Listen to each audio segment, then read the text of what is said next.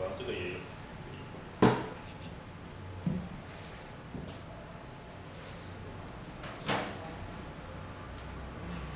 好，那呃，今天讲呃呃《Business Space Design》这本书，那它的那本书的结构，就是刚刚我们有聊到，呃，有分，我感觉大概可以分四部分。那第一部分其实就是介绍最基本的东西，还有最近这几年很多人谈的 Business Informed Neural Network。好，那好，大概到第六章左右，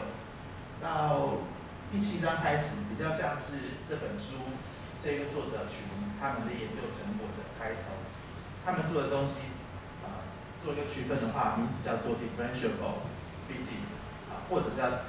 differentiable simulator physical simulator，就是基本他们在在做的就是数值模拟，然后只是那个模拟它有可微分，意思就是说像因为神经网络的框架那样，有一个自动微分的那个功能，可以去算里面每一个模块，它输出对输入的微分，基本上就是梯度。因为我们输出了那些梯度以后，我们就可以做回向传递。那一般我们的传统的模拟不会去做这一个功能。那还有就是这个功能有时候是呃要去对那一种特定的模拟，比如说是空气动力学或者弹性力学，或者是流变学啊，或者是某个特殊的领域，要对它做优化。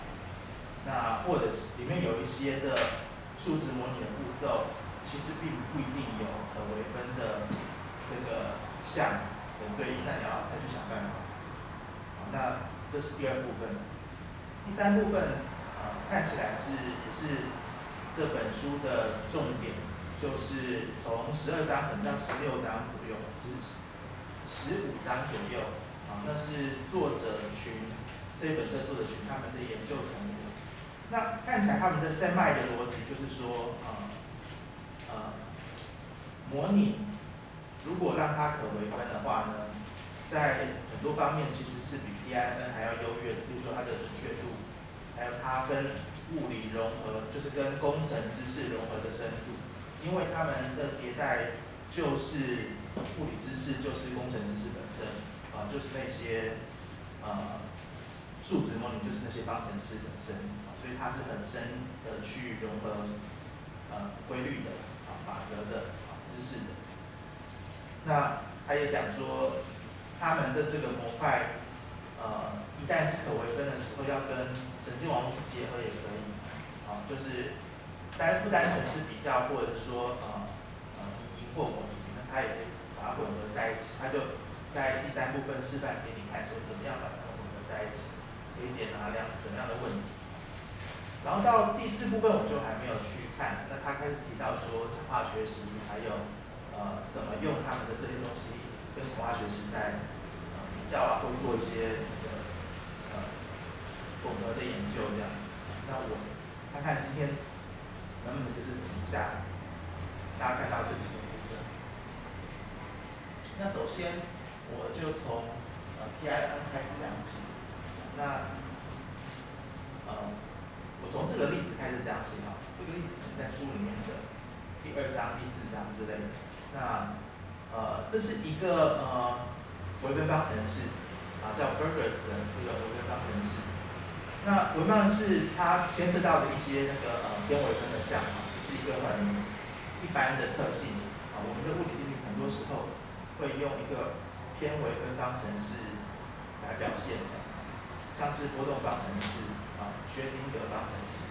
啊，弹性力学里的多种方程式，能量守恒、热传、磁传、电磁学，啊，所有方式都是这一类的事情。那等一下我们看完这些例子以后，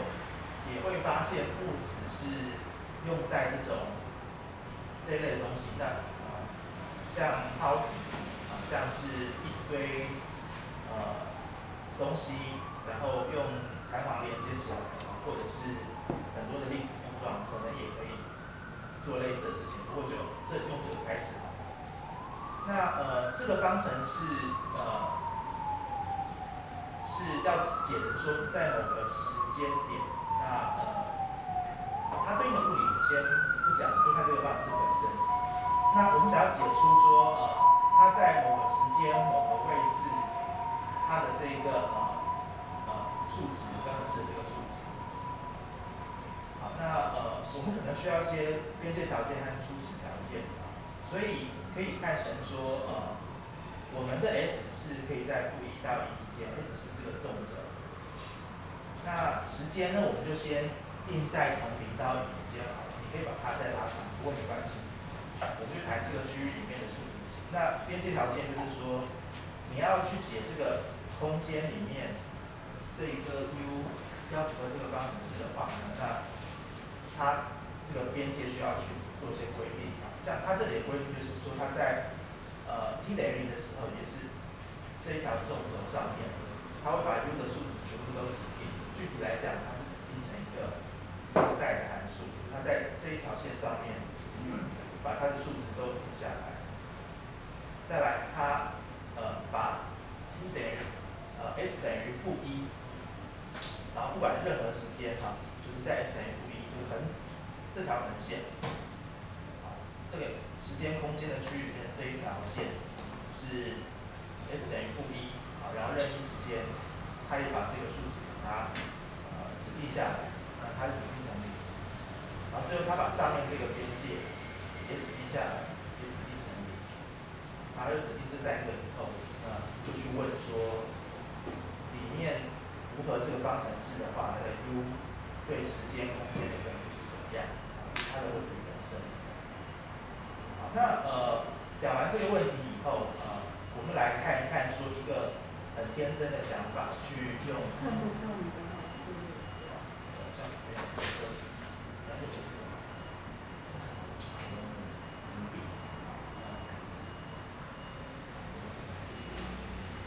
那呃，不好意思，刚刚没有。呃，我们知道了这个问题以后呢，我们可以先试一个天真的方法，就怎么学一个神经网络。然后可以去呃算出方程式的值。好，那通常我们用的方式就是一个监督式的方式啊，大概就是说你在这一个时间空间的区域里面撒点，啊撒时间空间的点，啊，例如说我撒一千个点，那每一个点都有对应一个特别的位置啊空间啊，然后对应一个特定的时间，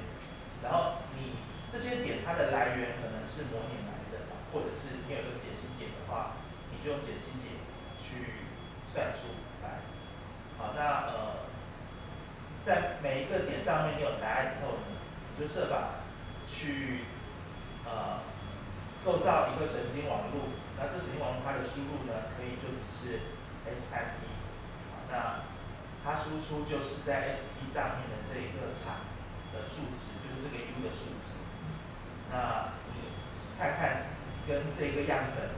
那个位置对应的那个答案差多少？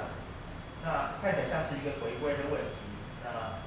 呃，天真的做的话，就是用一个方差，就是你把相减以后，然后取平方。那你有千个点的话，就把大家做均方差。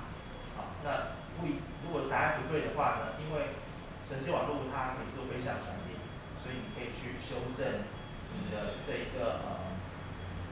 呃模型，然后它预测的越来越准。那这里需要再提一下，就是说这里一个天真的设定，它的 S T 是输入，它只要输入两个数字，这样子。好，那呃，这是我们一个天真的设定。呃，P I N 到底在做什么东西？就是。我们可能有一些经验以后，或者做一些回归以后，都会知道说，首先你的样本很少的时候，那个你回归的那个模型大概泛化能力很差。呃，那即使你样本很多的时候，啊，在你指定那个区域里面，你的呃训练样本很多，你的泛化能力在离训练样本的这个区域远的地方，大概应该也不太有把握。这是它一个特性，那呃，有些时候呢，那个你的呃好，好这个这个我们等下会讲到。那我现在讲一下 PN 到底在干嘛？简单讲就是刚才我们要要求它的每一个地方都要遵守这个回方式，可是我们只用这个东西去生成它的训练样本，我们就不用它了，其实蛮可惜的。因为其实对某些方程式或物理来讲，你边界指定以后，你的解就可以唯一的解出来的话，那所以它明明还有那么多量的的的讯息，却不用，那就很可惜。那这里的用法就是说，你就预测一个 u，这个 u 可能不是答案，不过你试着算出那个 u 对应的等式的左边看看。如果你是答案的话，你的这一个项就会变成这一个，它们叫 residual 的这个项，就是你如果没有算准的话，那你在某些地方的这一个数值呢，就不是零。那你要把它当成一个 loss，把它平方起来的话，那你设法去减少它，调整你的网路，那就可以。所以具体来讲是这样，你加一个所谓的这个 physical 的 loss 项，那它其实就是方程式如果不等于零的话，那它呃就是一个要下降的这个目标，就是这样子。那我们原先呃。还有一些边界条件，那这个当然要加进来。不过我呃重点其实是这个。那呃再讲多一点的话，其实说这个网络呃输入以后呢，你除了预测一个你的答案，就是时空点上面的那个 u 的数值、场的数值以外呢，你要去算它的偏微分项。看到你的这个呃与 C 九项里面牵涉哪些？去算那些，然后把它组成组成一个新的 physical 项，设法去这样啊，大概就是 PIN 了。呃，这里有个重点是说，呃，因为我们的神经网络是有这些自动微分的那个功能，其实它我们可以如果说大家知道这个呃呃 style transfer 的话，那他那时候做的事情比较。不是说调神经网络的权重，然后去呃选目标，它比较是说，在一个特定的有特定的权重的网络，像是 VGG，那你想办法去调输入的影像，让它符合你的要求，所以调的是输入的影像。这里呢，就是我们要的这个偏微分项，我们看好对 x 对 t 或高次的微分，其实都是对这个输入而言。那自动微分也可以帮我们算这个，它不但可以帮我们算对权重，就是 W 的偏微分，它也可以帮我们算这个东西。其实都有些这个功能，就我知道 TensorFlow 开过去都有这个功能的。好，那大？你现在是把那个一次项的微分当做 output 来来预测嘛？对，然后那一般不是说我只要 output f，这样一次微分项都可以反向去去去算嘞。所以那二次微分，我就不怎么算。因为它呃一次微分，我们就呃把把一次微分再微分一次，就套再套入同一个模组，它就帮你算。OK。它可以帮我们算二次微分、三次微分。那这里是要用预测出来的这些微分数值去组成这样一个 loss 项。嗯然后再跟我们最原先的那一种普通的 supervised 的或 data driven 那个 loss 把它加起来。那一个比较巧妙的地方是说，权重要怎么去分配？你要一比一，好，用物理的这个 loss 要跟那个 data driven 这个 loss 要一样重要的，因为毕竟你最终预测的目标就是一个 loss。我们目前大家做的是一个 loss，那。两项全把它加起来，那权重的分配就是要调。哎，你整体的 loss 还包含原来那个 square loss 对。还还有那只有三个 loss 原来 square loss 不在。对。然后讲的非常的清楚，就是重点是这个事情。然后等下会我在这个延伸一下好玩的东西，有试过的好玩的东西，就小东西嘛，就是说呃呃，就是说即使我甚至把 Super 我有去试过哈，就在抛物线这件事情上面，就有一个空气阻力的一个抛体。那把 data driven 那个项拿掉以后，它其实还是可以预测得出来。当然，呃，好，具体的这里的做法其实是说，我们现在把我们的模型设定好了，啊，当然就是这个 n n，还有它必须你要它输出，你要求它输出这些微分项，再来你把 loss 把它指定好了以后，啊，那在接下来呢，你要开始去选你要呃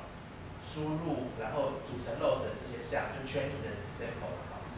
那我们传统上就是说，比如说选个一千点，你手上如果有更多的资料，你就选，比如说一共一千个资料，然后去把它拼成一个 batch，然后看看它的 loss。那这里呢，你必须要再加上它的边界的这些呃监督的资料，因为微分方程式是这样的，就是说你边界没有指定的话，尤尤其是你的中间非边界方你也没有指定的时候，答案整个会抛掉，因为它不会被唯唯一确定。就像是我们丢一个抛体，你在三楼上面往前丢，跟你站在呃五楼上面往前丢的轨迹当然不一样，边界条体要指定。那呃，如果说我们就是用呃边界以以内，就是这个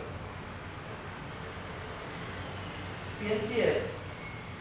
这不算哈，就是我们尽情的在这个呃中间去撒点的话呢，那直觉上也告诉我们，事实上试过以后，它会会那个结结果就是说。你的预测在这里面可能会准，在边界上就不准，所以它其实蛮笨的，是你给哪些的监督样本，它就会去回归或者贴近哪里。那呃，这里再多说一下哈，就是说，如果说我只撒这个边界，然后呃，我的 loss 加上这个呃 physical 的。就是说，刚才那个物理方程式带的对应的离子准项的时候，其实这里面也可以把它很准，够准，然后里面不要变化太大的时候，它其实也可以预测到，也也可以去呃去背起来，它也可以去背起来。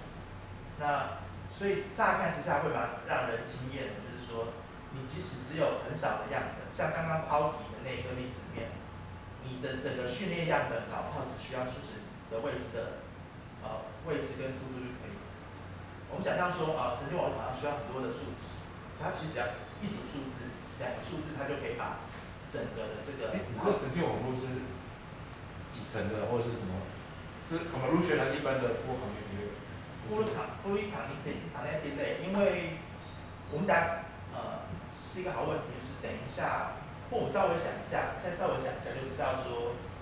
这个其实它没有一次输入。就是整个空间的分布，所以我想直接来看卷积，不知道怎么样对它的好处。对，就是说这个东西其实你开始输入，你并不是输入那个一个空间分布或者一个什么 salience map 或者一个影像，并不是输入这种东西。好，那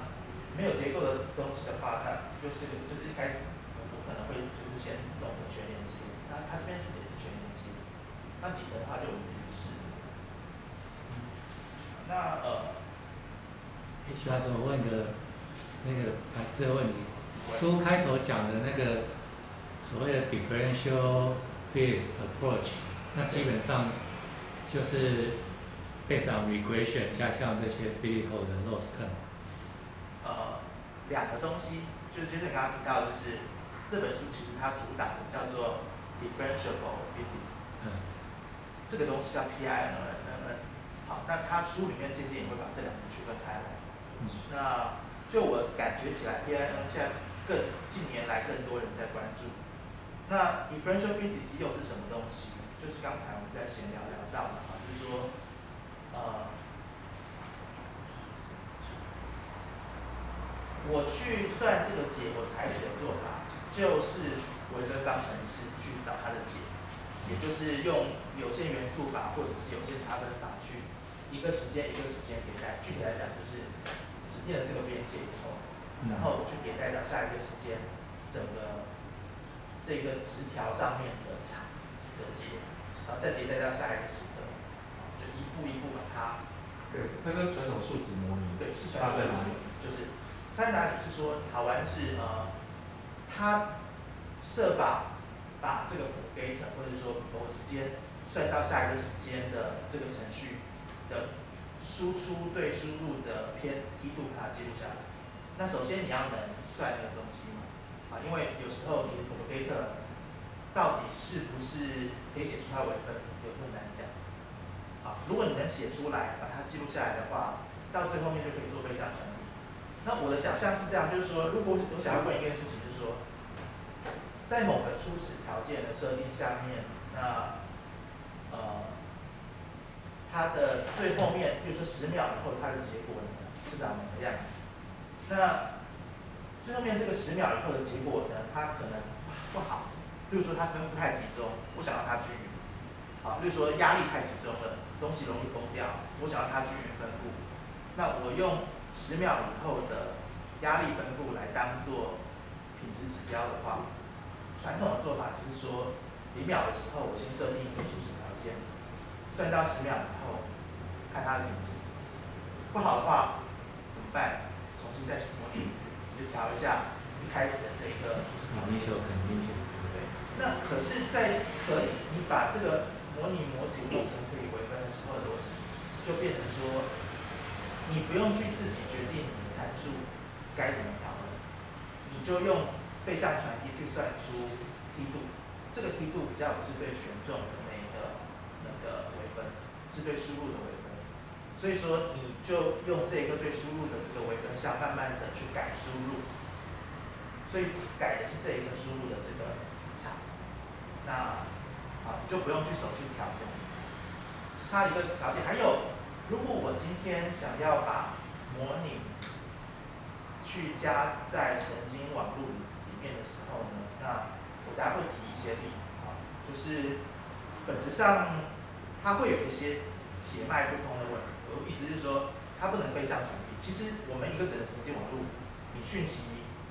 那个用背向传递的话，那个比较一致啊。如果说你有一个东西，它就只能前向不能反向的话。的使用的用途会受限，好，那当你构成这个模组，即使里面的全部都是数值微分，都是一些差分啊，都是一些有限元素法的时候，它能背向传递，它就可以跟神经网络更深层的混合在一起。它它卖的，它号称的大概是这样的事情。那那个东西可以微分的数值模拟的模块，就叫做 differential。来这样，好，那其实 PIN 其实就是指这样子，然后他就给了两个例子，那其实，呃，这两个例子应该是 PIN 那个作者群他们去弄的，好，他们其实他，然后这一群人，就我们这本书这一群人，就是再把它跑一遍，啊，用他们的配，再跑一遍，那我们来看一下几个结果啊。呃，我，好，好，那现在这样子，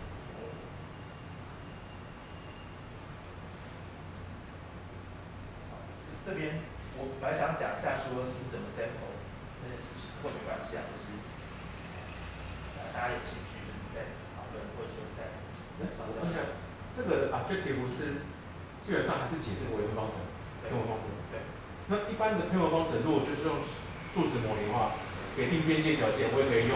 刚才讲那些数值模拟方式，找出完整的在任何时间点的 shape。对对对那那这个好处在哪里？就就这个 new network。对，还有叫就任何一个有名词的人都会问这个问题。然后我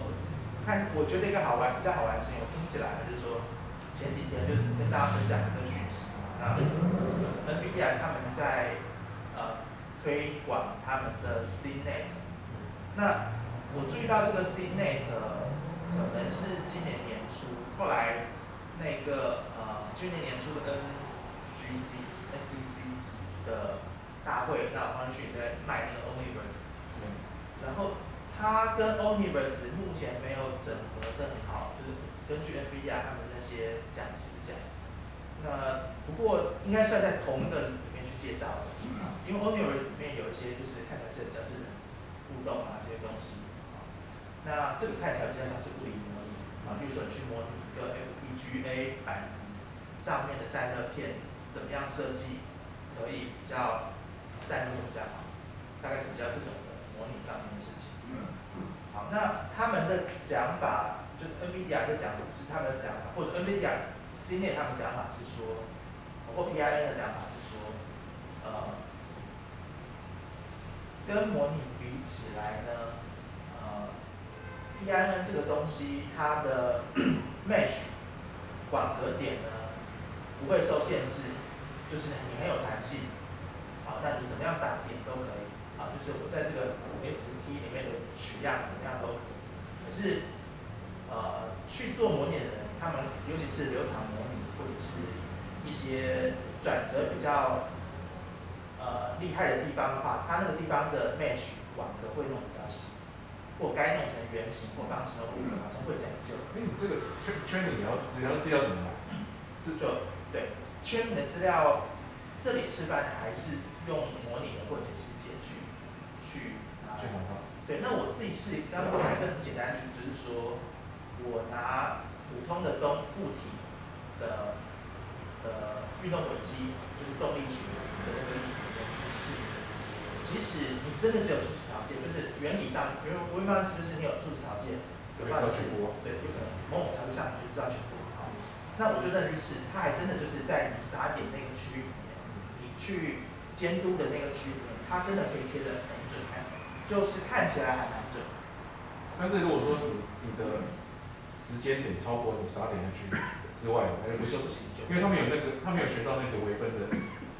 对 iteration 的概念。对，那在这个角度上面来看，就是说他们会说这一个呃工具，首先它跟纯没有那个 physical loss 比起来，它一定比较好。如果一旦跟模拟比起来的时候，那到底好在哪里？那它这里我看起来是说，网格这件事情可能就不利，就你比较自由的可以去选择了。那当然有些人会想说，那是不是我就可以不管网格了？之后再之后再聊。那第二个事情是说，它作为一个代理模型，它 inference 它是会很快。好，那我想原因乍想起来就是说，它这里的算，比如说我今天算 t 等于接近十秒的时候，t 接近一百秒的时候的那个。它的逻辑并不需要去算一点一、一点二、一点五十、一点五十三，它不需要。没有迭代。对，它没有迭代，它就一口气就是用比较扁平的网网路，然后一口气算到结果。它有点像背公式，就记那个公式，它不是一个一个时间慢慢的推。对，这个用途就是说，我现在在一个时空的短位里面，我生活一些点，对，然后 check new work，对，那 new work 在在这个时空的短位的范围，对，它就可以预测很好，对。预测很好的话，就第一个，简单来讲，它不用可能不用生活太多点，就可以预测很好。因为因为因为这个函数是或是实木死。对，如果实木死的话，也也许有希望。那呃，对，那我我我想，好处是这个，对，它比纯监督要来的少，我们觉得很难得。那它到底算不算少？然后稍微空一个地方，比如说我时间不到一秒。我可能前面取一些尾巴取几点，中间空一大块以后，它会不会好？我我觉得也难讲。所以有时候它看起来蛮好，比如说你这个结果是个凹陷，看起来还蛮像是一个凹陷，就凸凸的。你真的去跟那个数值比，数值的解去比的时候，那 error 其实都不太能接受。啊，然后数值的那个比较粗的时间跳动比较大的那些解算出来，我觉得都看你要用什么标准，怎样才算可以用。所以发展这个主要是。有一部分是为了 performance，就是速度，inference 速度，对，模拟的速度。对我我目前我没有还没有真的投入，不是在做这个。那只是我目前感觉起来，很多人讲代理模型会有这个好处。那实际上怎么再往前推，或者再观望这样。那起码我想，如果往回望，就是说普通的神经网络的话，要拿来解一个科学模型的话，这个显然有结构多了，就是有知识多了。啊，有多多很多概念，拿很多有用的东西再拿去用。我我想它一个对比传统的数值分析方法，就它可以建构一个很大的 simulation 环境。因为它它一旦 training 之后算好之后，它在做实际在铺的时候，它就直直接运算，那运算量比传统的每那那个 simulation 它都要一直迭代，所以你用传统的数值分析方法，你没办法建构一个很大复杂的 simulation，那变成说它每要做一个 prediction，那预测量都要花很长的时间计算。因为它一定要从边界条件开始，等于是积分到尾巴了，积对分到你要的点，才能算出来你要的那个数字。啊，比如说现在在流行流行那个元宇宙，那如果它在那个哦 virtual world 里面 build 一个很像真实世界的的的物理环境，哦，包含你看到的，哦，这不是不是二二次元的人物，而是像真实的人，哦，真实的物体，那那个 simulation 的量就非常可观，所以它那个速速度决定一切，这个可不可行？而且我想在，就是我看一个模拟，说你倒一杯水，然后水在水缸里面或者是水杯里面晃啊晃啊这样子的模拟，我其实根本不在乎说它到底真的倒下去的时候准不准，我其实没有那么在意，它看起来像就好了。嗯，就当然有些应用那可能是重要的，比如说你大气的那个状况，要看天气之后的影响。做某件事情，比如说，假如减碳这件事情失败，氮捕捉失败的话，好像还有一个东西叫地球工程，就是终极的办法，就是你在那个大气层上去撒一些东西。我我我想到一个例子哦，刚好前一阵子那个大陆，他那个不是有针对那个中小学生在太空站上面开了一个叫所谓天宫课堂，然后在太空做做一些实验给小朋友看。那那其实这些东西可以在地球上面，哦，比如说用元宇宙的方方式做一个 simulation world，那这个这个就是一个太空环境，比如说它有一个在空间站里面滴水，它它会形成一个圆球，哦，而不会掉落，所以我们就可以用这种方法 simulate 一个在太空中的一个世界，然后在上面做实验，然后。实验出累积够足大的数据，在太空里面去做，哦，基于这些 constraint，那得到的实际的结果跟模拟的结果会不会有一致性？我觉得这个就是一个算是还不错的应用。我觉得这个看呃哪一个应用会比较有意义，就是看它定位啊，就找它定位。对啊，还有其他就公安的，哦，比如说。发生核灾，我们就让那个 condition，哦，它是会处于接近核灾或是会发生核灾这样的一个哦的一个状况，然后看它会水面学可能是什么结果。那我们在实际上面在核电厂，哦或是核能装置上面，我们就可以做一些事先的预防措施，避免它进入这样的 state。就我想模拟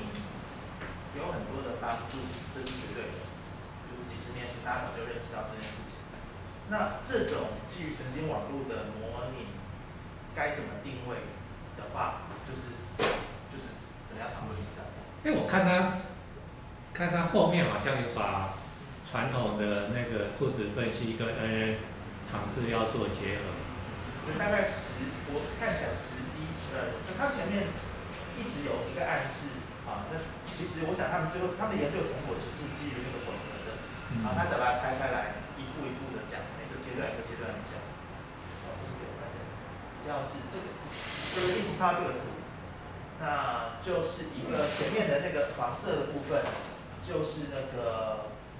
呃模拟的，而且是可微分的。哦，讲错了，这个部分就是 N N，然后这个部分其实就是那个可微分的模拟器。然后，他谈说呃结合这样子。会提到，那呃呃，这群人就是 PIN 他们讲的好处是说，NN 的好处是说 Mesh Free，好，然后还有一个事情是说，呃推论快速这样子。然后呢，做模拟的人，这本书的作者，他的讲法是说，NN 不准，不准啊，不可靠，不准。然后呃，Mesh Free 是假的，Mesh Free 是假的原因是因为我不撒某一区的点的时候呢，它一定不会准。那再来就是说，如果那一区的函数变化很剧烈的时候，你不撒的密一点，你也不会准。啊，所以讲 Mesh Free 其实免免 Mesh，其实这件事情有点有点对，你当然可以不用 Mesh 嘛。那你做模拟一定要 Mesh，是的，你做模拟你弄一个很方形的 Mesh，就烂烂的 Mesh。那你做撒点的时候，你可以随便撒。那你没有撒的好的话，结果猜也不会好。那可是 NN 有个好处是说，它 Mesh Free 的那个 Free 倒是可以 Mesh 很自由、很弹性，你是可以拿传统的模拟、数值模拟的 Mesh 去撒点。因为我想到一个，像现在有另外一派，就是就是偏数学的，啊，他们尝试把 neural network 导入到数学理论的推论，就让他学到背后的那个数学，那或许可以那那个方面的将来研究进展可以来互补这个方面。我还没涉足，我自己比较，我可能要涉足一下的。然后有些人会我谈一相近的事情，就是你能不能从资料里面去学到物理方程式本身？那呃，假如 P V 等于 R T 好，然后你把符合 P V 等于 R T 这样的资料点，比如说我我假如说关键的数值是压力、体积、呃摩尔数。分子的量固定好了啊那是常数，温度，所以你就画一个三度的空间是温度、压力、体积好了，这样子东西。你把符合方程式的点全部把它点在这个三度空间上，它可能看起来像是一个面，好，看起来像是个面。但我们高中的时候、中学的时候、高中高职的时候所学的那些曲线，其实就是用各种不同的方向去切这个面，看它的形状，这些曲线，什么波义尔定律啊，什么根率三分定律，乱七八糟。那呃。我们假如说可以，就是从资料里面找到那个曲面以后，是不是就代表我们知道那个方程式？我觉得中间还有一个，就是说我假如说我的资料点的呃来源全部温度都是分布在负十五十度到两千度之间，啊两千度太多了，那那个压力和体积都在那个区域之间的话，我得到了那个区域的线像是抛物线，可是超过那个区域的时候。它会是一个对应的抛物线，还是是另外？你延延展远一点后，它其实是一个。不是，不是有个数学理论是说，你只要给你足够的 neuron，你就可以 approximate 任何函数。对。对啊。可是你一层就好，一层对。就是今天一个阶梯函数，你只有看到它阶梯函数，就是说 x 大于零的时候它是一，x 小于零的时候是零。我只给你 x 大于零那一半的话，那 x 小于零到底是？还是零还是什么？我不会知道。我不会知道。你说 global 的时候的表现其实，对，但我想 N N 它可以去逼近任一个你给定的，我没有讲很细，那个区域里面的函数的样子，那个 domain 里面，嗯，在外面其实大家都不知道。可是我们物理方程式其实是一个很强的要求，PPRD 除非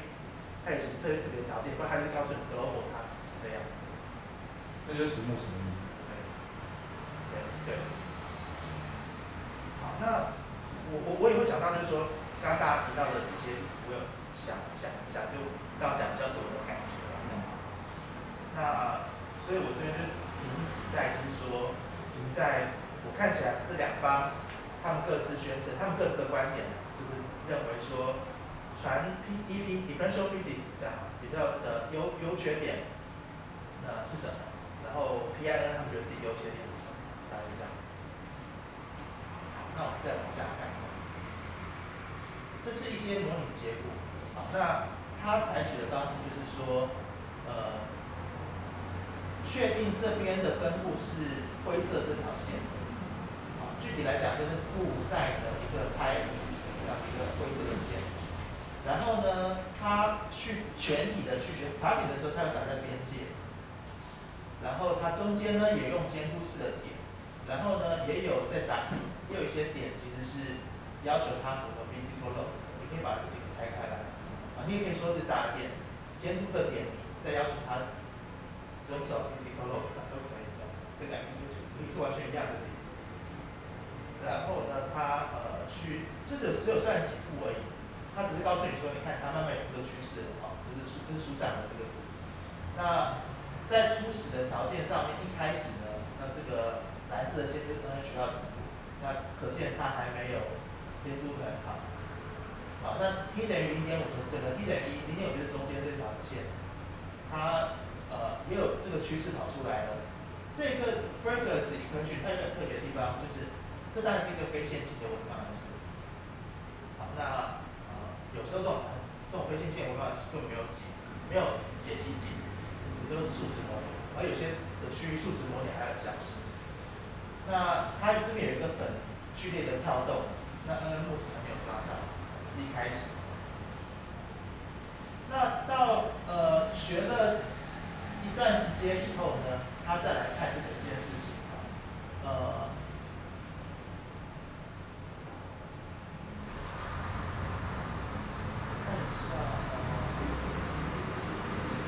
好，这个呃，这个这个字，我自己把自己看对字啊。那看起来应该是说这是解析解，就是呃，你可以说是数值模拟的解也好，很精细的数值模拟的解也好，你可以说在 t 等于零的时候，那是我们指定的数值也好，t 等于实际上是蓝色的，是不是负三？然后呃，在时间慢慢往前推移的时候呢，一直到零点二五、零点五的时候呢，就是淡蓝色的线跟紫色的线一样。那我们的 N N 的模拟呢，就希望说它能逼近这样的结果。那如果第一眼看起来的时候，其实条件有点像啊，蓝色的呢对应蓝色的，T 等于零的，那 T 等于零点五的时候呢，就哎也是开始有一个比较剧烈的跳动。当你真正把两相减的时候，会比较清楚一点。那我们会看到说啊，t 等于零的地方的时候，一直在监督它，它这个写错了，这个 t 应该是等于，呃，我看一下，我这里是不是有整错？我好像这样。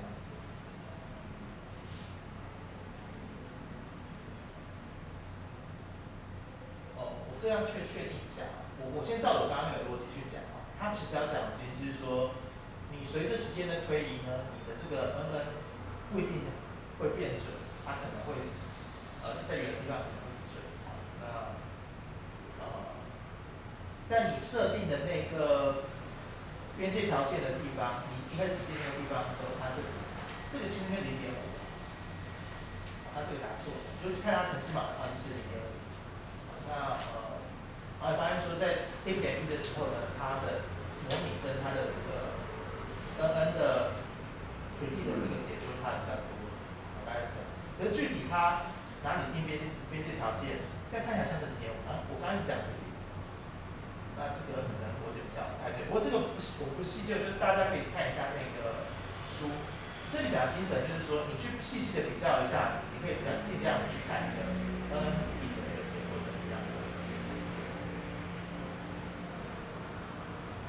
那他在一个章里面很短的一个章，大概一两页里面有给一些评论啊。他说 PIN 这个东西的好处是说，呃，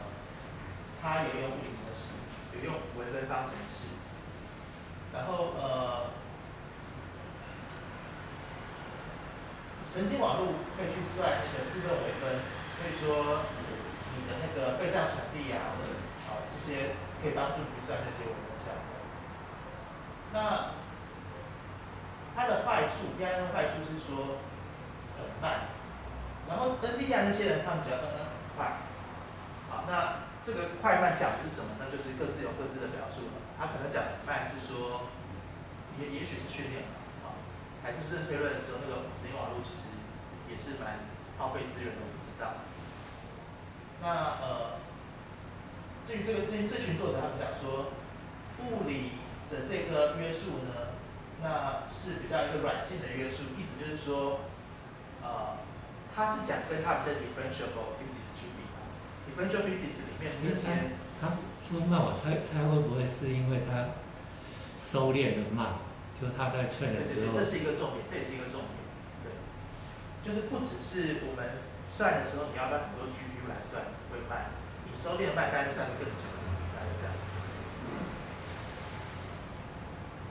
而且我看起来，我怀疑一件事情就是说，呃，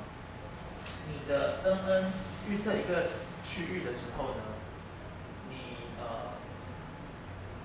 你有时候撒点，你撒的越来越多的时候，它那个准度可能不会下降，因为某种各种各样的原因。比如说你有时候去那个情况，它 loss 本来就降不下去，你不知道是为什么。那呃，我排除 overfitting 这件事情以外，这你也不知道为什么。然后可能数值模拟加。很越来越密的 mesh 计算量变大以后，它真的可以变准，因为现在那很成熟，就是误差跟 mesh 的里面的格点的距离密密度其实都有个啊 error bug 都有，所以啊那我们的这一个神经网络跟数值方法你要融合的时候，乍看之下就是它是讲说他们可以生成哦。他们的 visual physics 可以生成。那这个要我讲受恐圈就是说，因为他讲说数值模型本身那个就是物理方程式，那这个 N N 毕竟就只是要求结果要，可是也有好处，因为它弹性很大。我想很多很多不同的那个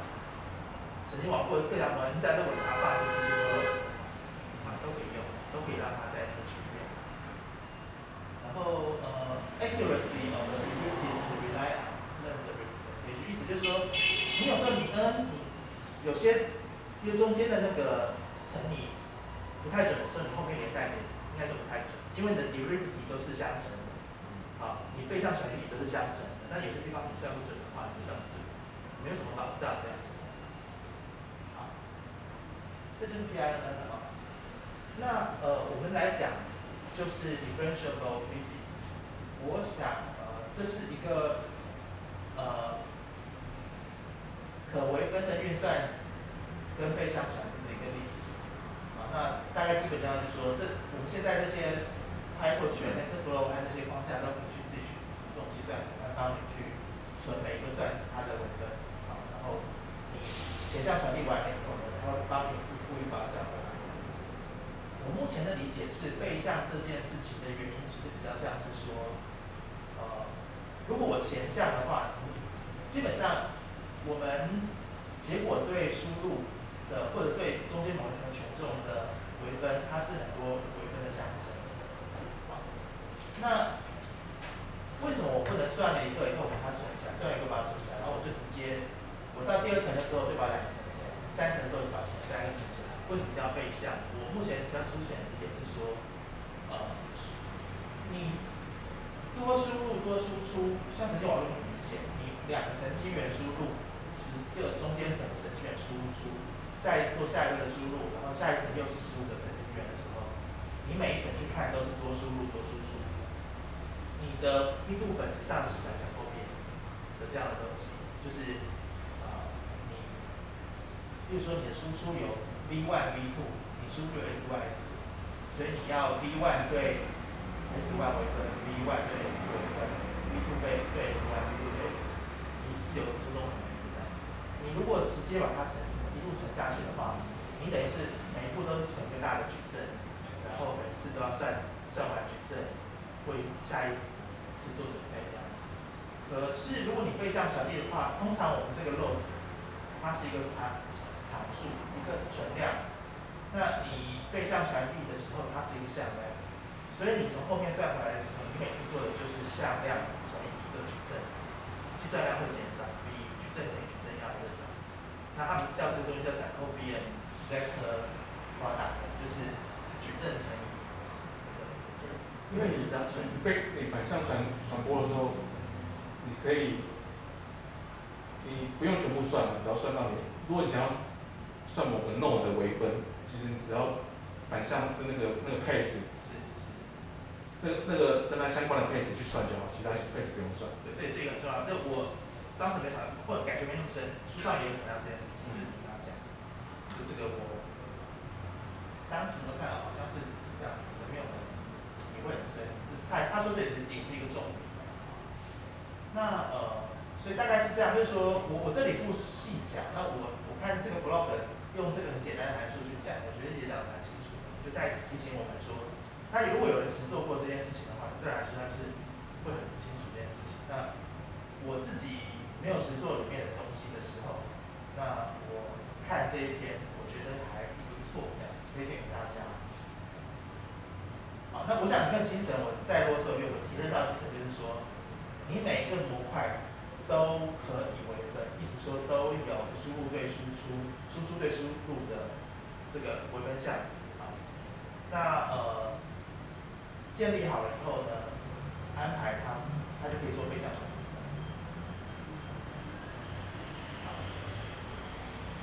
那我们现在回到这个 differential physics 上面，具体的例子是这样的：如果说这边有一个微分方程式。啊这个不是 perfect equation，这比较像是一个扩展方程式之类的，比较单纯的一个方程式。那我们关心的，那图像还是还是可以用刚才这个图像去想，就是你想要知道在一个时空的区域里面呢，它的解是什么？只这里我们的解呢，要解的是 d 啊 d of x 这样子，又是一个呃这个呃。每个位置上面的 u 其实是一个数步长啊，一个跟时间无关的数步长啊，或者你可以想象成处在空间的每一点，就有一个 u of x，跟 d 无关，t 变动的时候数值都一样，然后 u 跟空间有关，那我们要解的是 t of s，可以用刚刚那个图像啊，那呃我们这里数值的解呢，就是说给某个时间。它的 d 的分布，还有 u 这个呃参数，那我要去推稍后 t 加德塔 t 的这个分布，就一步一步往后推的意思啊。所以一个天真的想法就是说呢，刚才的这个模块我输入以后呢，我这个模块就是时间往后推一一小段时间德塔 t 的这个操作，好，然后。y v 可能是就是你一小段时间以后的你的这个结果，然后再做一样的事情，就是对一个德塔 t 以后的这个去做推进去预测这样子，啊，所以它的每一层就是一个时间的这个我们给的，或者叫做微分式的解啊，就是 sol solver 的。好，那。基本的想法就是，如果你可以把这一些 operator 都弄成找到它的梯度的话，那你就可能可以直接从最终的结果推向传递讯号到输入，这样子。那它这个 five flow 好玩性就是说，我乍看之下它就是做一个流体力学的，应该是 focus 在是流体力学的模拟上面。那我刚刚举到几个，就是工程上面。好，至少古典物理上面常常用的这些解，像是弹性力学啊、热传、直传，好，那会有粘性这种事情。我想在里面有一些的数值方法，它未必可以这样猜，或很不好猜，还没让帮你猜好。那它的那个 five flow 是不是一个通用的东西？像神经网络的组件有，就可以自己去组了。我觉得好像也还不能，因为。今天他要在弹性力学上面，我想他很多东西还没写好，所以，Biflo 可能对那个领域里面去先把它步骤出。five flow 那个 flow 应该是流体的意思。我们看这个作者他做的很多都是流体方面的研究和范例。那呃，所以这是一个问题，他自己也讲嘛，就是所谓 differential physics，它的问题或者是他要克服的困难，有时候是说你没有。你的那些主零组件，他未必找得到可以微分的东西，哦，或者再去设计，你要对那个物理有比较深的了解，就大概是这样。好，那这个细节它就告诉你说，这一个方程式它的时间递移的那个推进，它要怎么怎么，它找一个简单的版本给你，然后实际去算给你看，说它的微分是什么样的东西呢，我这我就不细讲。那我这里只是指出这个书的作者提出了几个点需要注意的啊，就是说，呃，有时候看起来我的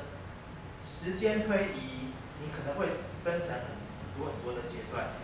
那呃，看起来好像整件事情会变得。不过如果你找到它里面的一些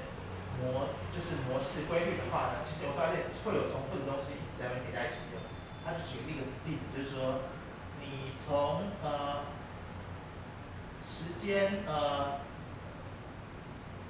如果想要你想要推从零推移到大 T 的话，你会发现说它会有同样形式的东西一直在重复。啊，这我就不细讲，大家有兴趣的话可以看第七章，大家可以看第七章，啊，里面讲到的这个 long time 有顺序这件事情。那再来一个 issue 就是说比较好玩的事情是说，呃，我们一个直接想法是说，你前向传递可能一种是它有很多很多小这个重复的单元，或者是你有一些的呃解免数值方法呢，它可以一步到位，直接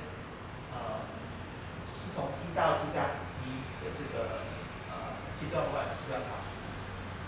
然后那些那个呃推进的方法呢，搞不好它自己是个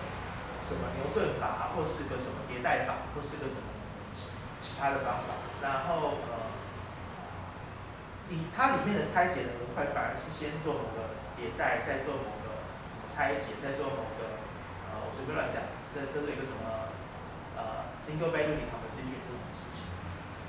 那你也可以把它每一个步骤都把它呃。找反函数会倒过来，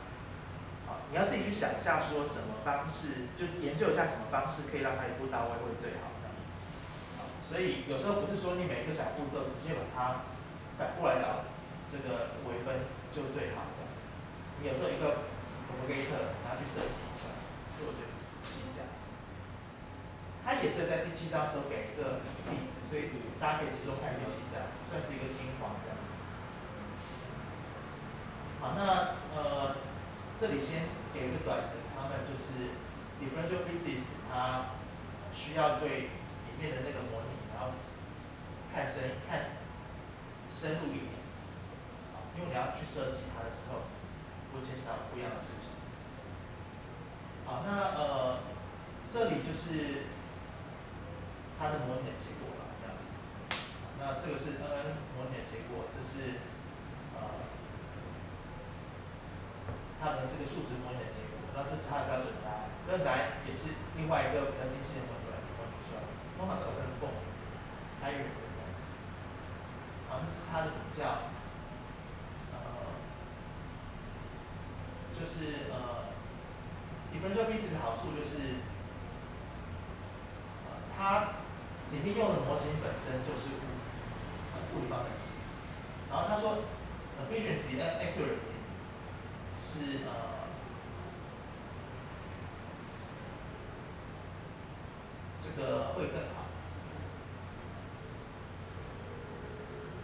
然后他这还讲一个额外好处，就是说它可以跟实际网络去结合的啊，因为他们都是可以合并在一起的方式。那他的问题就是说。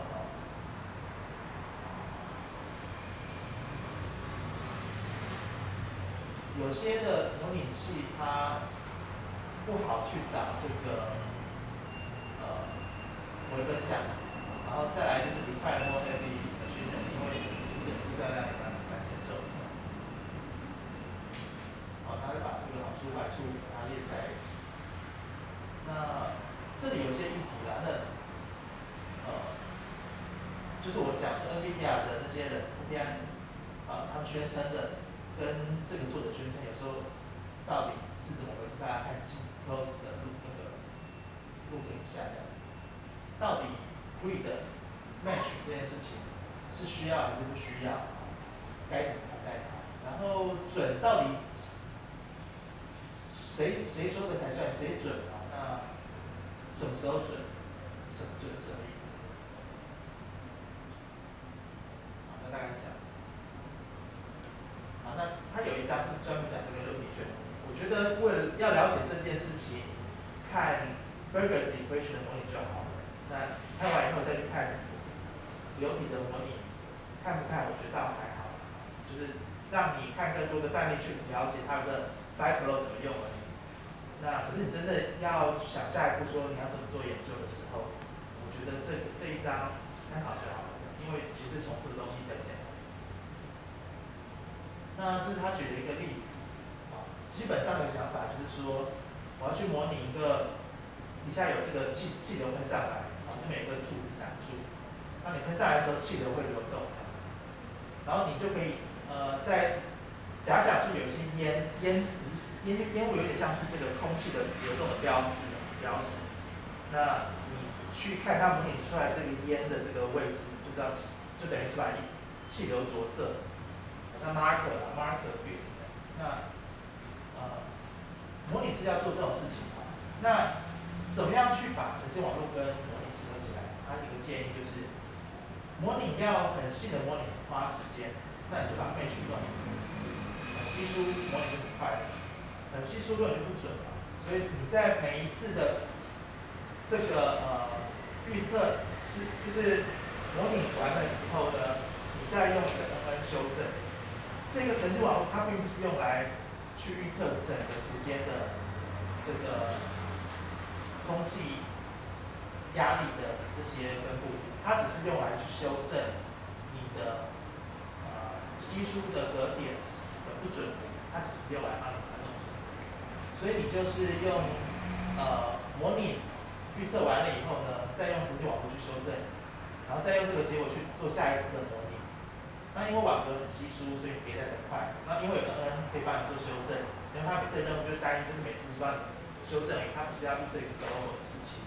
所以他觉得这样还不错。然后背向传递的时候，就是一步这每个部分都要算这样子。来，这个一个逻辑，这就是其中一种混合的他们想到的单一，就是 reducing numerical errors with deep learning，用神经网络去减少数值模。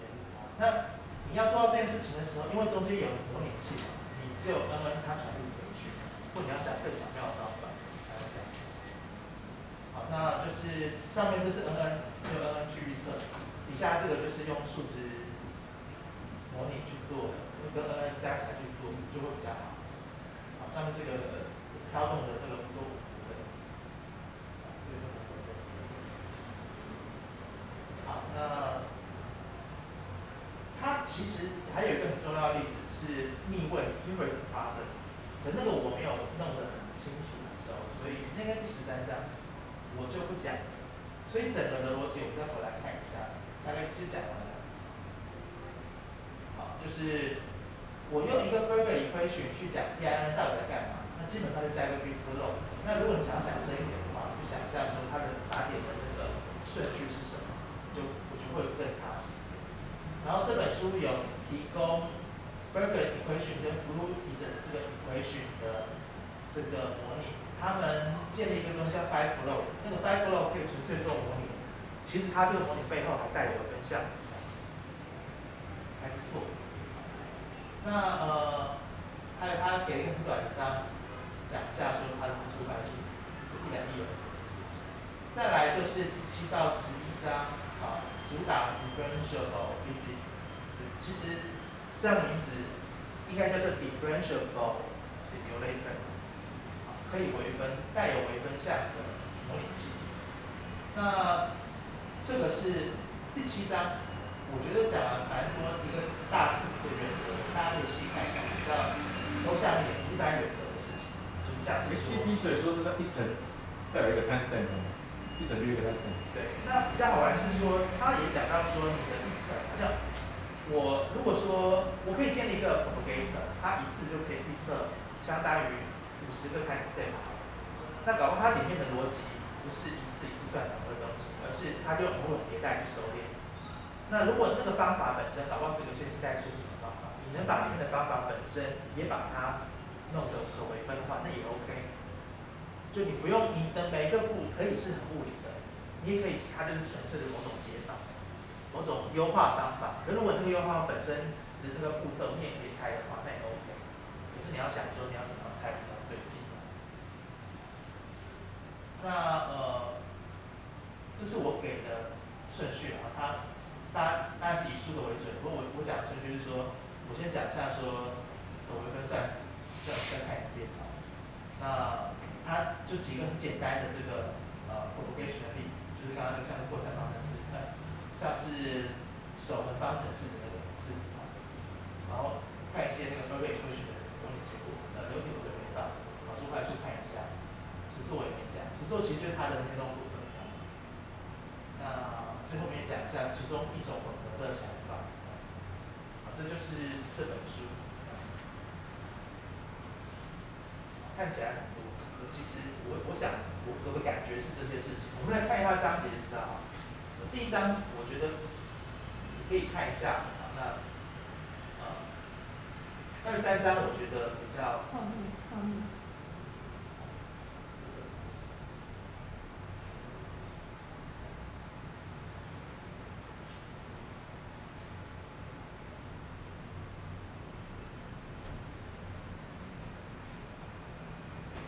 需要问一个物理的白痴的问题，会有可能的物理系统它是不可为的，因为这这现在这这这套，哦，这本书讲的都是基于它的。我我我今天如果有负责是模拟卡罗的话，我我不知道这道知道怎么处理的。就是我今天如果有一个模拟的步骤是在做撒点，啊，我就不太确定说那个是。因为我自己没有没有在做蒙地卡罗吧，不过你想说那个东西不就是几率撒点吗？那当然，我我记得以前我们讲 VAE 的时候，是不是就是说，呃，好像是 VAE 它有一步你可以去小心的设计一下，因为好像呃你推出了自己的隐空间的 C 呃 variance 跟平均值，你要用那个东西再去取样，好像中间不是这样。就是 variation autoencoder，是就是，如如果是古古典物理的话，基本上应该都哦，应该没有不可为的情况。听起来是这样没有错，其实我不太确定的原因是因为就是我要做一个古典的物理，然后有很多粒子在撞墙的时候，我可能会用蒙地卡罗法，因为我要大量模拟，然后我不可能去追那些粒子本身这样子。会不会那时候变还是数值方法本身的可为分是什么意思？比较不是物理本身能不能微分？这样的情况应该没有违背可微分这样的一个特性。我我跟他想一下，因为这里我我的疑问就是说，比如说，呃，我涉猎比较少，比如说量子力学里面，啊，比如说数位啊，纯数位，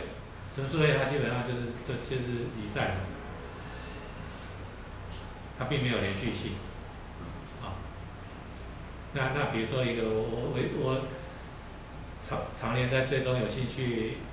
的的领域，那 spy neural，啊，那现在那个做法基本上它它它一个方法就是把那个离散的那个 spiking，哦 spike，它它把它变通变成哦退而求其次，把它变成一个类似可为的情况来模拟。而不是真实的离散。我举个例子好，就是说我是一个函数，我这个函数就是我只要看到一个人穿红衣服的话，我就用小锤子锤他头。那今天我看你们的变数一直在变化，蓝色的，然后淡紫色的，带蓝色衣服的话，我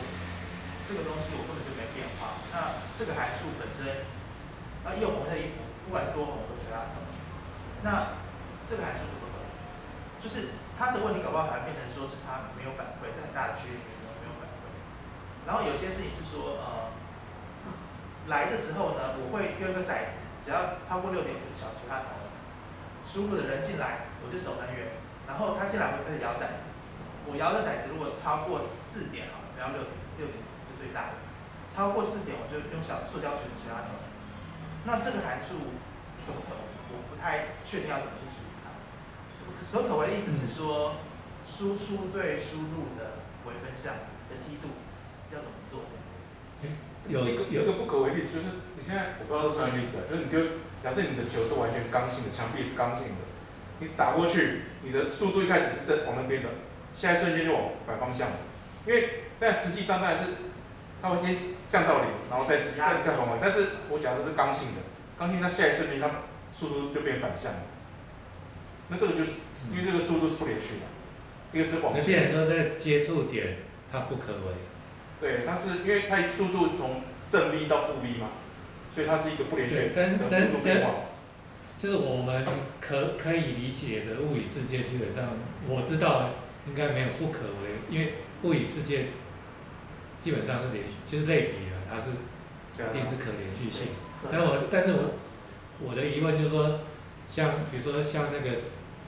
次原子量量子这样的一个架构。会不会发生这种很奇怪的现象？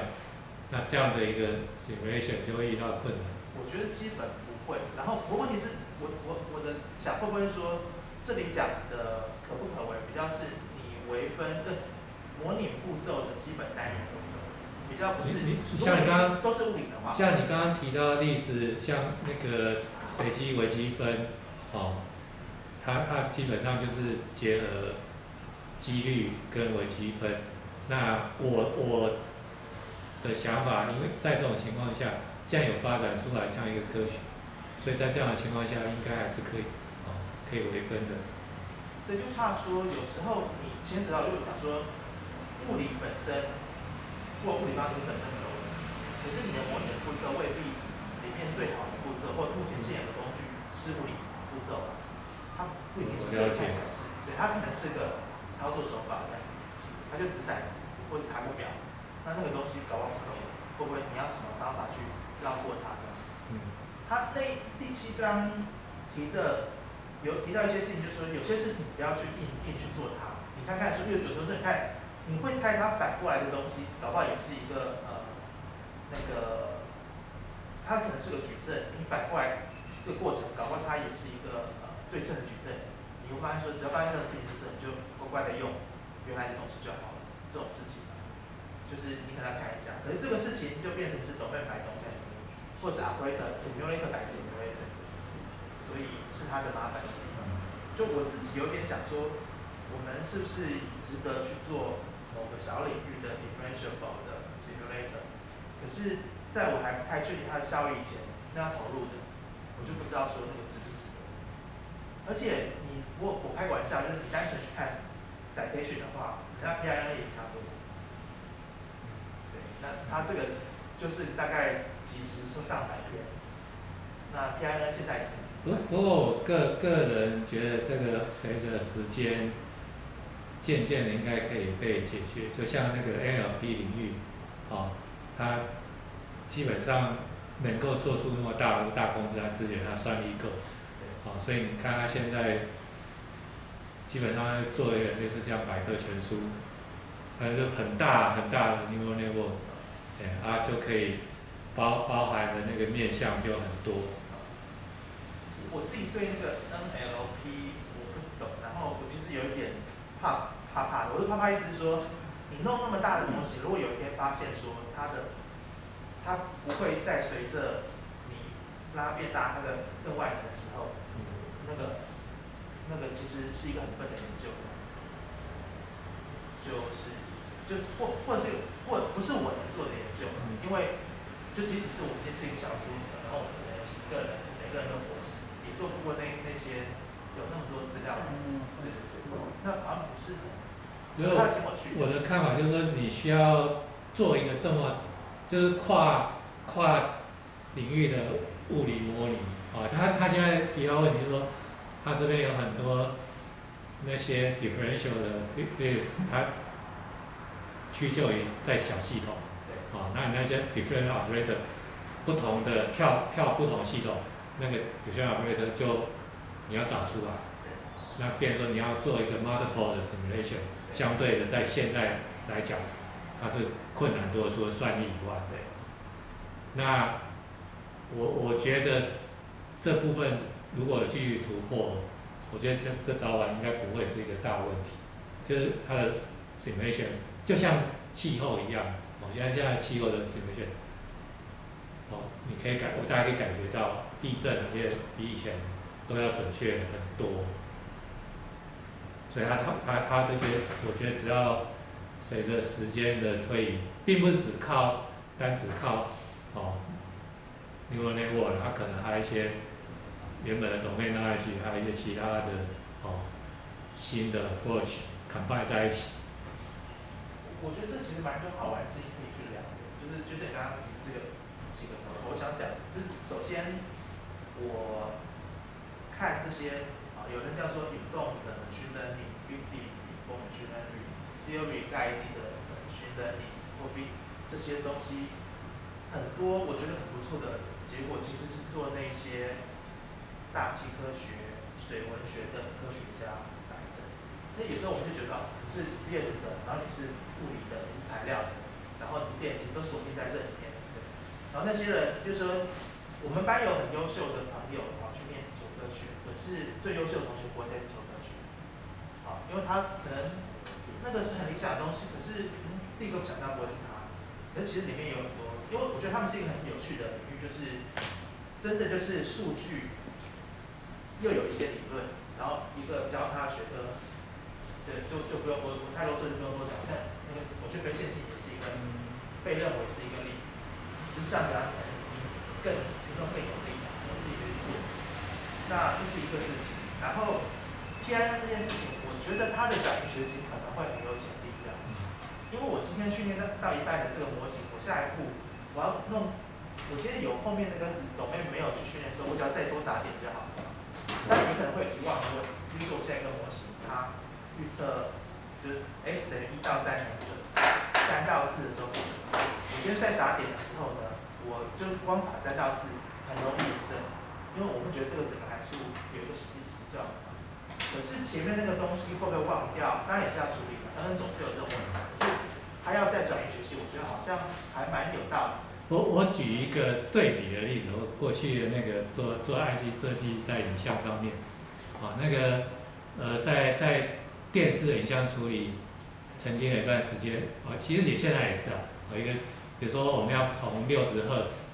啊，为了让让那个频率倍增，啊从六十变成一百二十赫兹，啊，那个画像就比较顺，啊，频率更高，因为人人人眼越无法哦辨别这么高频率的，所以你会看到移动影像，它会越 stable。那在这个技术发展的过程当中呢，我们在测试这样这样子的影像的品质好坏。好，有一种是赛马场在赛马。好，那当早期呢，我们会常常看到一个影像，就是从六十变成一百二十，这种叫 frame rate converter 这样的一个处理技术呢，你会看到赛马在跑的时候，那个腿会断掉，就它的脚，就上脚跟跟下脚跟。是是是没有分，有点分开的，不是完全分离，就是没有连续性，哦，就中间 shift 一点点，所以所以这种这种现现在这种问题，哦，应该理论上应该已经大部分被克服了，哦，不会不会有这么离奇的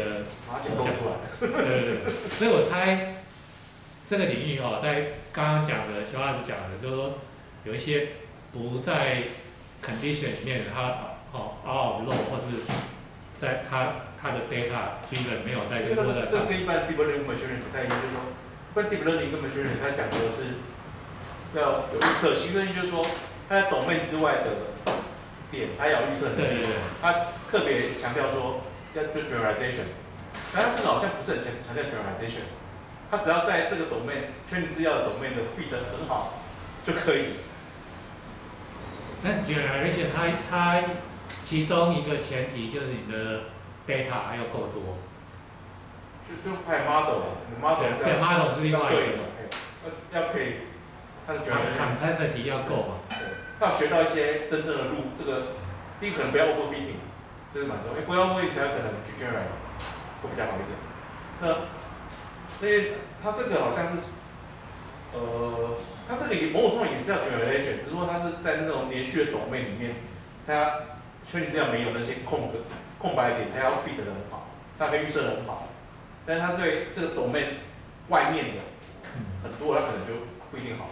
所以我刚刚边界边界之外的，那个就是学会这个哦，就像我刚刚讲那个数学，那个那个 simple mathematics，它它是学会那个数学，比如说让让神经网络学会最简单的，比如说加减乘除，哦，那学会这个这个代表加法，这代表乘法除法等等，哦，让他学会内在的数学定律。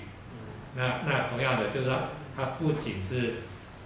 利用这些 data 好、来来来铺整个的预预测，而是把这个 fit role 能够真正学起来。其实我我感觉 data 本身不会，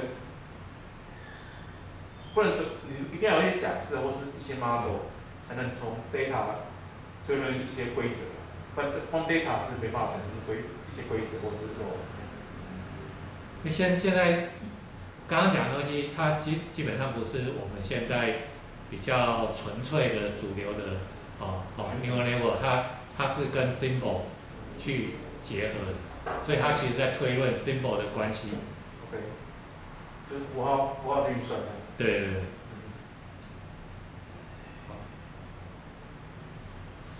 哎，不好意思，打断了。看，那就呃，我这本书挑出来，我觉得，呃，我我感觉是这些事情。对，那其他的我觉得比较细节，我觉得特别值得看的可能是呃第七章，就是 differential physics 的话，嗯第七章。那 PINN 本身的话，它前面也许第三章、第四章就说了比较多。那 PINN 也值得看一下，像很多人谈的 PINN，NVIDIA 基本上没有做 differential physics，它就是 PINN。因为讲这 PINN 跟 differential 是不一样的，differential 是讲你刚才讲一层一层那个下去，它有 training 的过程，它有跟 PI 一样 training 的过程，取样对我看起来没有，它比较像是设计那些 block，找它的呃微微分项，然后呃 PINN 是训练对啊，，differential physics 比较是设计那 block。这 block 它有参数吗？呃，block 的参，我我看起来没有，但我们可以讲是这参数可能比较像是什么哈，就是说，参数就 neural network 就是参数啊，就是在 linear 站然然后 differential physics 它里面全部都不是 neural network，那 differential 是跟这个 differential 没关吗？对没有，我我可以说，对可以说完全没关。关，对，它是 differential 牛可微分数值模拟，那就是传统数的模拟，但是很可可是可微分，就是说它可以背向传递，但是它不是那个对，它完全它前面全部都不是 neural network，然后你可以去稳，可是它基本上全部都不是，然后它可以背向传递。你要让它知道背向传递。我我我看起来它可以解决一件好玩的事情是说，假如说我想问一个气流通道好了，然后它最后喷出的气顺不顺的话，那它可以把气流通道的形状当成输入，嗯。然后一直跟你喷气的压力跟速度去做互动，啊，然后算出结果以后，从结果直接背向程序还原气流通道的样子，所以是一个 end to end 的优化，它它可以做这件事情，然后它也可以混，很去混那个像刚才那个数值模拟加神神经网络这件事情，如果我想要做一个数值模拟混神经网络，我当然我想，因为有些文章它也不是 differential physics，然后它的神经网络就是用来修正那些呃数值模拟的。可是它这个好像看起来可以直接一路传一一路背向传递回来，就是因为你神经网络的那个背向传递，因为它前面一层可能是数值模拟，普通数值模拟它没有办法再往往后面送，嗯读不回去这样，那这里它就。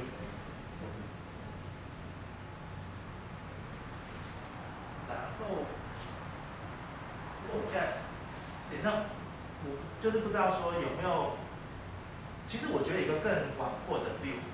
看这件事情，只是也也许在下次还是怎么样。我我给大家看一个图这样好了。现在看起来有两个事情，可是其实我觉得这至少 differential physics 当然我们看怎么看待它，可以说它是窄，或者可以说它是这本书的卖点。可是其实就 PIN 来讲，我觉得它其实是一个很广阔的阅读的一个小点，就是在这篇里面做所谓的想要把知识，尤其是科学知识跟物理融合的人，其实很多人在尝试。有没有很成功，这不好讲。然后很多也是出自于像 PIN 那个作者，其实他们不是第一个去想到这个用物理 loss 去反过来修正，那可能也好些年，一九九几年的时候就就就已经有了。那更广阔的 view 其实是这一篇，他们是一个。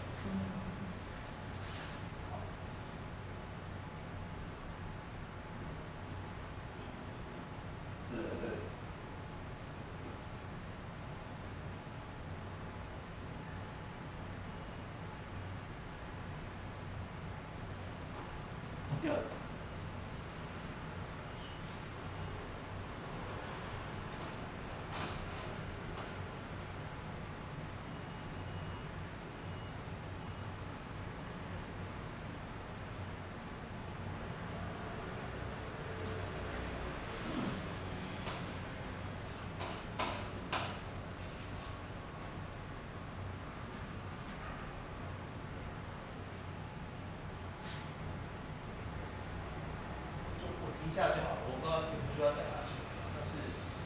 这一篇，这前几年有几篇我觉得蛮好的 review。这我我我讲说这篇是 review one，然后有需要的话会提供一篇 review 二和三。那 review 二的特性，我觉得它的设备的范围更广，一些比较深的东西它也有讲，可是它整理的没那么好。这篇它的 paradigm 整理的比较好，可以让大家更好的抓住说，我觉得那个整理本身就是科学。它整理的事情，它会把知识融进去机器学习这件事情，切成几个不同的地方来看。第一个就是说，你那是什么领域的知识？比如说，你那个是社会科学的或者人的专家的知识，还是自然科学的，包括工程的，啊，像 r e d 学，还有呃一些尝试这些事情这样还好。然后第二个就是说，你是怎么知识的表现形式很重要，好，就是说你的那个拿到的东西是一个逻辑，好，就是什么若 A 则呃 A 若 A 则 B 若 B 则 C 啊这些事情。啊，A 解 B 什么，那模拟器或模拟的呃结果啊，或者是微分方程式啊，或者是知识图啊，或者是其他的事情这样子啊，啊变性啊什么，呃这些都是不同的形式。PIN 它其实有点像是拿微分，尤其是微分方程式，然后去呃它的形式是，你使用的知识的形式是微分方程式，尤其是微分方程式。那你使用那样的形式加进去，你改你整个资料学习的机学习哪里？那一种是你的收集资料更多嘛，哈，资料资料面；一种是你用什么模型，它这里叫 hypothesis set。然后一种是说，你用这模型以后呢，你的 loss 的学习目标是什么？啊，所以 Pn 回过头来看，它比较像是用微分方程式这种形式。知识形式，然后助力帮助在它的那个，尤其是 loss 上面，它这里 loss 叫做 learning algorithm，它是用这个名字的哈，比较是这个地方。呃，如果说我今天知道我们想要预测这个东西，它内部有一些性质啊，比如像 CNN 啊，它可能觉得局部的特征这个很重要。那你会把模型拿来做改动的话，那就比较像是改 hypothesis 这个。然后最后面后处理，你怎么样去帮助你做后处理？知识怎么帮你做后处理？这个也是一些，那它的这边图示大概每一个它用图示大概看起来什么样子。那这篇它整理的，我觉得还不错，有一大群人，作者一群人在讲，我觉得这样。那我就提一下这个，我后面就是给把我那个 slide 给大家了，大家有兴趣可以再可以再大家一起来一起研究哈。那就举给一些例子，来这样子。然后我想要推销一下，就是说大家，我不知道我不知道有现场有没有人，还是推销一下，就是如果大家对，就是呃